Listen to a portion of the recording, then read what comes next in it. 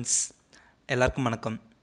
இன்றைக்கி நம்ம பார்க்க போகிற டாபிக் என்னென்னா மைக்ரோசாஃப்ட் எக்ஸலில் நம்ம பர்டிகுலர் செல்ஸ்க்கு வந்து பாஸ்வேர்டு கொடுத்து வச்சுருப்போம்.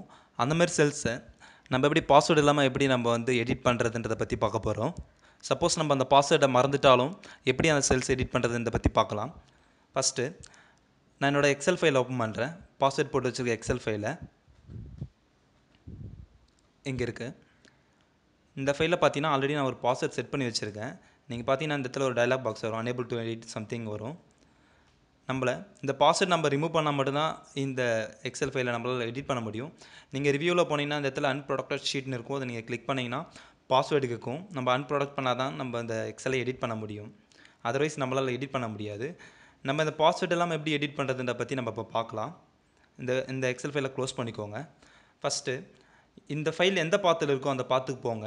அந்த பாத்தில் ஓப்பன் பண்ணிங்கன்னா அந்த file name plus file file type இருக்கும். இந்த ஃபைல் நேம் பக்கத்தில் ஒரு டாட்டுக்கு அப்புறம் இல்லைன்னு பார்த்தீங்கன்னா இதுதான் வந்து ஃபைல் டைப்புன்னு சொல்லுவாங்க. இல்லை ஃபைல் எக்ஸ்டென்ஷன் சொல்லுவாங்க. இது மேலே ஜஸ்ட்டு எஃப் டூ கொடுத்தீங்கன்னா ரீநேம் ஆப்ஷன் வரும். எஃப் டூ கொடுத்துட்டு டாட்டுக்கு அப்புறம் இருக்கிறது அதாவது எக்ஸ்எல்எஸ்எக்ஸ்ன்னு இருக்கிறத எடுத்துகிட்டு ஜிப் ஃபைலாக மாற்றிக்கங்க இசட்ஐபி ஜிப்பாக மாற்றிட்டு சேவ் பண்ணுங்கள் சேவ் பண்ணிங்கன்னா இப்போ ஜிப்பாக கன்வெர்ட் ஆகிடும் இப்போ அந்த ஃபைலை ஓப்பன் பண்ணுங்கள் ஓப்பன் பண்ணிங்கன்னா இங்கே ஒரு நாலு ஃபோல்டர் இருக்கும் உங்களுக்கு.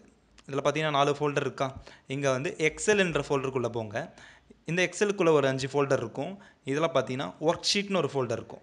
அந்த ஒர்க் ஷீட்டில் ஷீட் ஒன்றுன்னு இருக்கும். இந்த ஷீட் ஒன்றுன்ற ஃபைலை ஓப்பன் பண்ணுங்கள் ஓப்பன் பண்ணிங்கன்னா நோட் பேடில் ஓப்பன் ஆகும். இப்போ என்ன பண்ணணும்னா நீங்கள் கண்ட்ரோல் எஃப் கொடுங்க. அதாவது ஃபைன் பண்ணுறதுக்காக கண்ட்ரோல் எஃப்னு கொடுக்குறோம். இதில் வந்து ஃபைன் டாட்ன்ற செக்ஷனில் வந்து ப்ரொடக்ஷன் டைப் பண்ணுங்கள்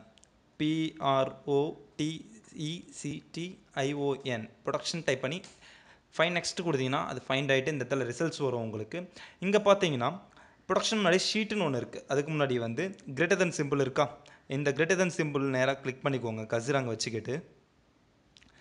ஷிஃப்ட் ப்ளஸ் ரைட்டரோ கொடுத்தீங்கன்னா ரைட்டில் நீங்கள் செலக்ட் பண்ணுற டேட்டாஸ் வரைக்கும் செலக்ட் ஆகும்.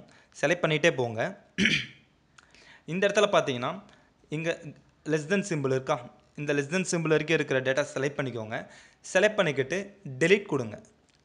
டெலிட் பண்ணிட்டீங்கன்னா அகைன் ஃபைலில் போயிட்டு சேவ் பண்ணுங்கள் சேவ் பண்ணிவிட்டு இந்த நோட் பேடை க்ளோஸ் பண்ணுங்கள் க்ளோஸ் பண்ணும்போது உங்களுக்கு வந்து இந்த ஷீட் ஒன்று வந்து அப்டேட் பண்ணட்டுமா மாடிஃபை ஆயிருக்கு அப்டேட் பண்ணட்டுமான்னு கேட்கும் எஸ்ன்னு கொடுங்க. எஸ்ன்னு கொடுத்துட்டு அதுக்கப்புறம் அந்த ஜிப் டயலாக் பாக்ஸையும் க்ளோஸ் பண்ணிக்கோங்க. க்ளோஸ் பண்ணிவிட்டு இப்போ இந்த ஜிப் ஃபைலை வந்து அகைன் நம்ம வந்து எக்ஸ்எஃப் ஃபைலாக கன்வெர்ட் பண்ண போகிறோம் அகைன் எஃப் டூ கொடுங்க. எஃப் டூ கொடுத்துட்டு டாட் ஜிப்னு இருக்கிறத வந்து டாட் எக்ஸ் எல்எஸ்எக்ஸாக மாற்றுறோம் மாற்றிங்கன்னா எக்ஸல் ஃபார்மேட்டுக்கு மாறிடும் அகைன் இப்போ நீங்கள் இந்த எக்ஸல் ஃபைலை ஓப்பன் பண்ணிங்கன்னா இப்போ பார்த்தீங்கன்னா உங்களால் ஈஸியாக எடிட் பண்ண முடியும். அவ்வளோதான் ஃப்ரெண்ட்ஸ் நம்ம பாஸ்வேர்ட் இல்லாமல் எப்படி இந்த எக்ஸல் ஃபைலை ஓப்பன் பண்ணுறதை பற்றி பார்த்துட்டோம். இந்த வீடியோ பிடிச்சிருந்தா லைக் பண்ணுங்கள் மறக்காமல் நம்ம சேனலை சப்ஸ்கிரைப் பண்ணுங்கள் உங்கள் ஃப்ரெண்ட்ஸுக்கு ஷேர் பண்ணுங்கள் நன்றி வணக்கம்.